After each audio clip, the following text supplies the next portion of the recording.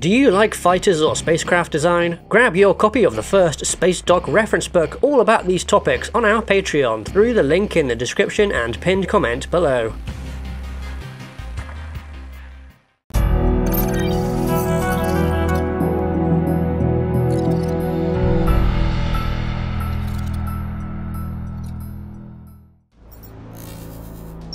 Hello everybody, I'm Hujiwana and welcome back to Spacedock. Today we are taking a look at spacecraft movement and controls, just how exactly you get your ship to move across the vast distances between moons and planets and stars. Our propulsion video from last year was a bit of a higher level overview of this, but today I'm going to go a little more in depth on the key concepts. Largely, this is going to apply to realistic designs, as softer sci-fi typically tends to just simplify all this out for ease of understanding, as orbital mechanics and such are way out of the box for people to understand.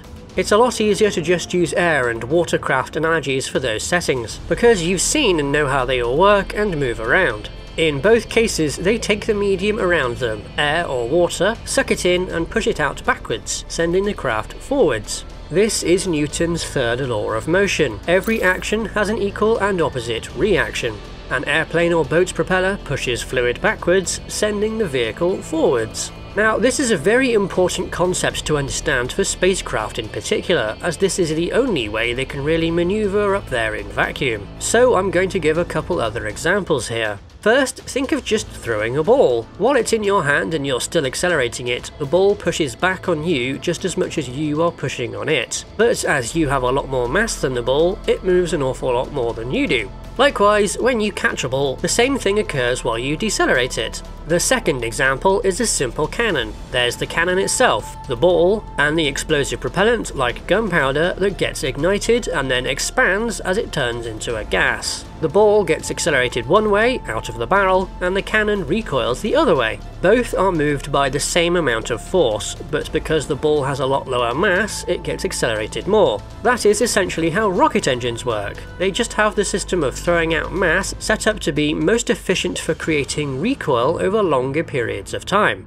You can use a gun to move, but it's going to come in jolts and isn't very efficient. A rocket engine takes the same components and reorganizes them. There's still a gun, in the form of the engine itself, and there's still mass getting sent away just like the cannonball. This mass has a special name in this context, reaction mass, because it makes the equal and opposite reaction. For rocket engines, this reaction mass, or just remass, comes in the form of a hot gas. Wait, wait, so hang on a minute, why not just chuck out propellant some other way though? You could just squirt water out of the bottom with air pressure, like with a bottle rocket, and it would move, right? Well, yes, but the water wouldn't be going very fast, so you wouldn't be getting much force out of it to push your craft along. If instead you burn your remass and turn it into a gas, there's more energy released as the gas expands, which can be captured and directed with a nozzle.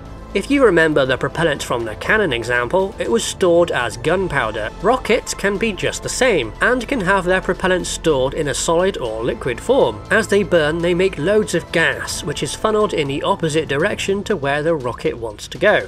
There's only so much you can get out of burning stuff like this though. It's great for thrust and decently efficient, but what about going further? What about going faster?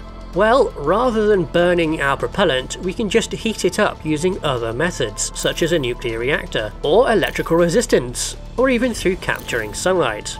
There are other engine types out there that all rely on good old Newton's third, but which use very different methods of accelerating their remass, such as ion drives. There's a lot of variety of these, but they all spit out electrically charged particles as their remass, fired out at velocities much, much higher than what traditional rockets can achieve. The higher the velocity, the more efficient the engine is. The downside is the extremely low thrust, as while the remass is sent zooming out at high speed, there's very little of it being sent out per second. There's even more exotic engine types that go above and beyond what ions and their kin can achieve, like the huge variety of fusion engines that are theoretically possible. I promised a video or two covering these already, but I wanted to get this one out to set you all up with the basics first. Subscribe now for those future videos on fusion engines, nuclear bomb engines, sails and other such things over the coming months.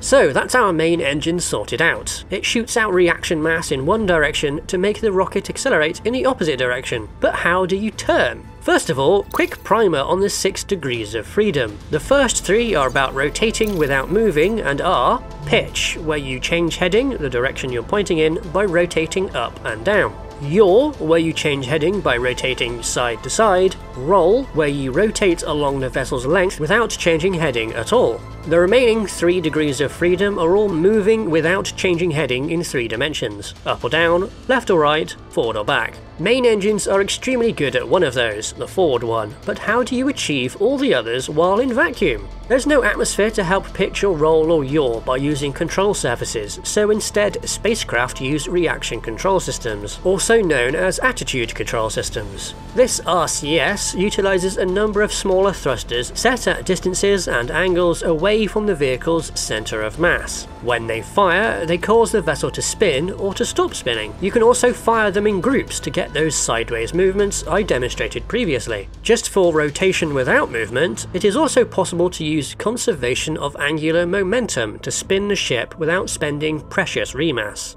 By spinning up or slowing down flywheels on the vessel, it's possible to make the entire craft rotate. You can even try this yourself at home if you have a spinny chair. Just wiggle yourself to change the direction you're facing. I'll wait while you spin all the way around.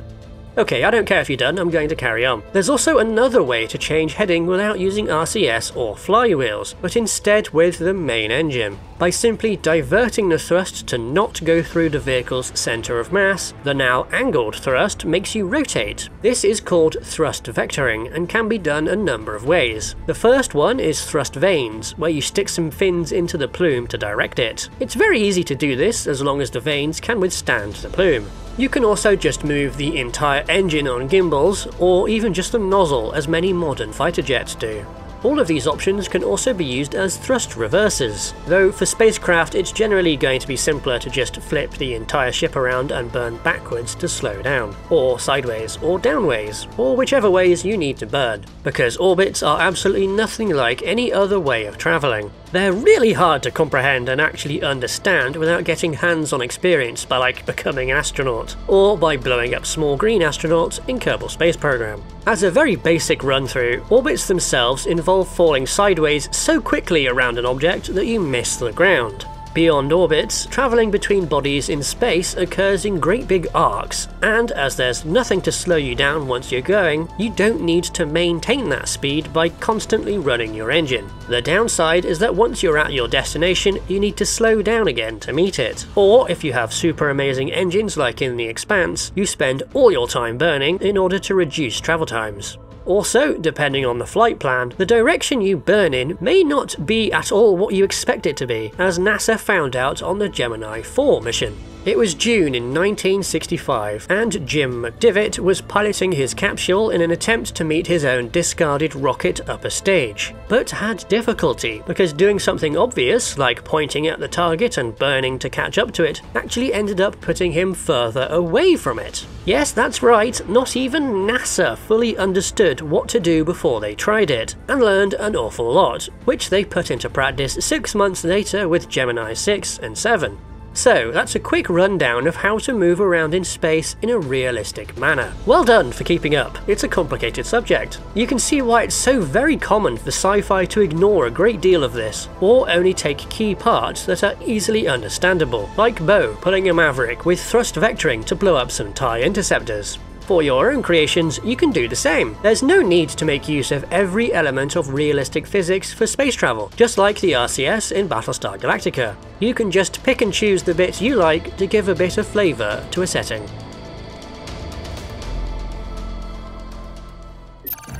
You can support Spacedock by joining our Patreon where you can get our Space Fighter design reference book. Alternatively, you can support us directly through YouTube by giving us super thanks or by becoming a channel member. Thanks to our supporters and thank you for watching.